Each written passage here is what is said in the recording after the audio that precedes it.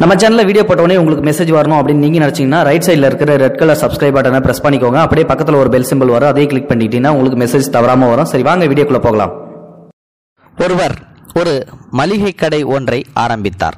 பின்பு jewellery shop hotel துணிக்கடை departmental store என வளர்ந்து போனது.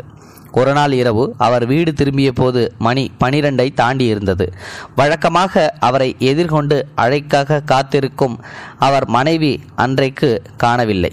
வீட்டு பணியாளர் தான் கதவை திறந்தார். அவர் முகக்குறிப்பை உணர்ந்து அந்த பணியாளர் சொன்னார் ஐயா அம்மாவுக்கு திடீர்னு மயக்கம் வந்துடுச்சு. ஹாஸ்பிட்டலுக்கு போய் ட்ரீட்மெண்ட் எடுத்துட்டு ஒரு மணி நேரத்துக்கு முன்னாடி தான் வந்தாங்க. அதனால தான் உங்களுக்காக காத்திருக்கல. ரூமில் இப்போ தூங்கிக்கிட்டு இருக்காங்க. ஏன்? என்னாச்சு? ப்ரெஷர் என்று டாக்டர் சொல்லியிருக்காங்க ஐயா.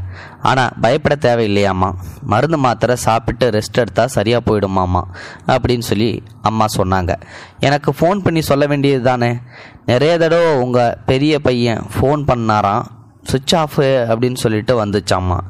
அப்போதுதான் அவருக்கு ஒரு மீட்டிங்காக இரவு எட்டு மணிக்கு தன் மொபைல் போனை சுவிட்ச் ஆஃப் செய்தது நினைவுக்கு வந்தது. அவர் தன் மனைவி படுத்திருந்த அறைக்குள் அவசரமாக நுழைந்தார். அங்கு அவருடைய மனைவி ஆழ்ந்து உறங்கிக் கொண்டிருந்தாள்.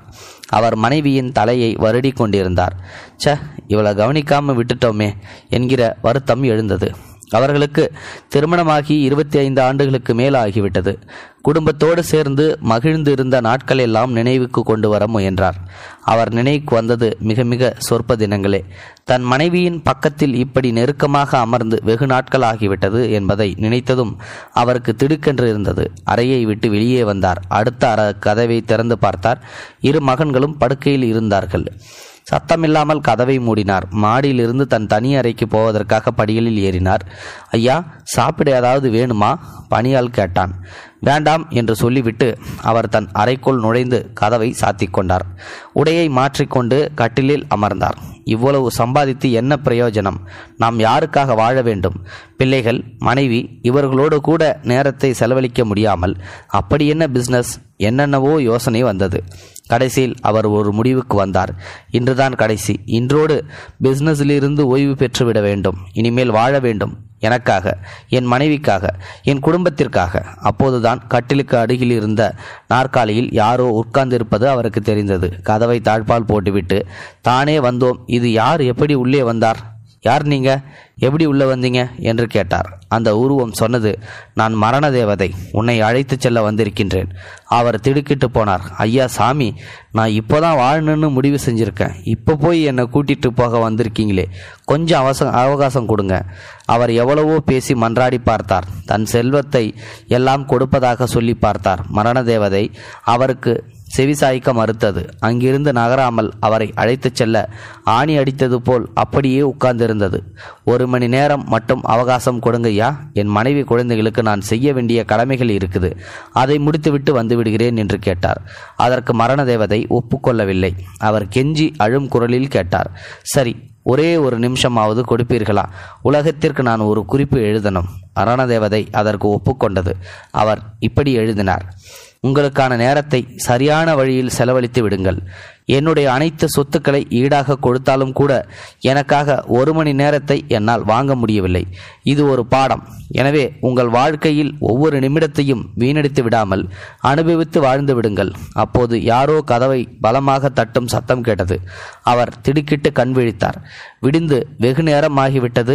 அவர் எழுந்து போய் கதவை திறந்தார். பணியால் தான் வெளியே நின்று கொண்டிருந்தான். ஐயா ரொம்ப நேரமாக கதவை தட்டுறேங்க. நீங்கள் திறக்கலையா? பயந்துட்டேன். அதான் கொஞ்சம் பலமா தட்டினேன். அவர் அவசர அவசரமாக திரும்பி தன் பெட்டுக்கு அருகில் இருக்கும் மேஜையை பார்த்தார். அங்கே அவர் எழுதிய குறிப்பு இல்லை.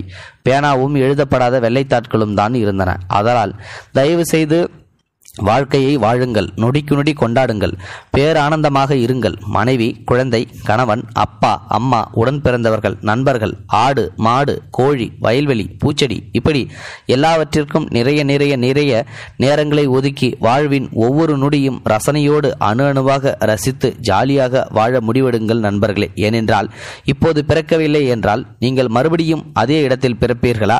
அல்லது மனிதனாக பிறப்பீர்களா என்றே உங்களுக்கு தெரியாது. ஆகவே இந்த ஒரு பிறவி உங்களுக்காக ஒரு வாய்ப்பு என்று எடுத்துக்கொள்ளுங்கள்.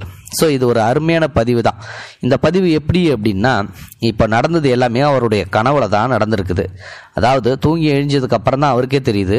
நம்ம மனைவி உடம்பு சரியில்லாமல் போனது மரண தேவதை வந்தது எல்லாமே நமக்கான ஒரு எடுத்துக்காட்டு தான். இப்போ நீ வாழ்ந்துட்டு இருக்கிற இந்த நல்ல வாழ்க்கையை கெடுத்துக்காத.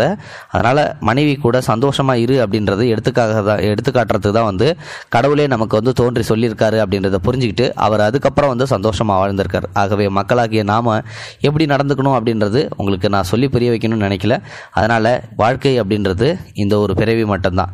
அதுக்கப்புறம் வந்து பார்த்தீங்கன்னா வேறு எந்த பிரிவில் நீங்கள் பிரிப்பீங்க பிறப்பீங்க அப்படின்றது வந்து யாருக்கும் தெரியாது. அதனால் இப்போ வாழ்கிறப்பவே நீங்கள் சந்தோஷமாக வாழணும். மனைவி குழந்தைகள் எல்லாத்தோடையும் அப்படின்றதுக்காக இந்த ஒரு பதிவு. இதை பிடிச்சிருந்தா லைக் பண்ணுங்கள் உங்கள் ஃப்ரெண்ட்ஸுங்களுக்கு ஷேர் பண்ணுங்கள் கூடவே சேனலையும் சப்ஸ்கிரைப் பண்ணுங்கள் தேங்க்யூ ஃபார் வாட்சிங் இது போன்ற செய்திகளை உடனுக்குடன் நீங்கள் தெரிந்து கொள்ள மறக்காமல் எங்களுடைய சேனலை சப்ஸ்கிரைப் செய்யவும் கூடவே பக்கத்தில் வரும் பெல் ஐக்கானையும் கிளிக் செய்யவும்.